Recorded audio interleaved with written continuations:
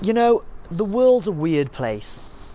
But I promise you, as weird as it gets, professional wrestling will always be weirder. You missed a spot. Sorry, Mr. Andrews. Everyone's trying to be something they're not. Let's take Progress Wrestling, for example. A room full of people pretending they're not the same losers that they were in high school. Sorry, would it be okay if I could have your autograph? Yeah, sure, man, yeah.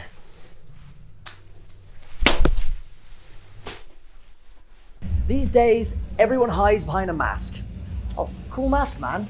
Ah, gracias, amigo. That Mark Andrews is such a good guy. Which brings me to you, Cara Noir.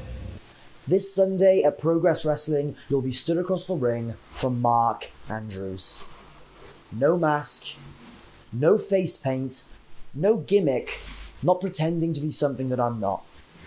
Just me, your new Progress Wrestling champion. And then you can just carry on doing your weird swan thing.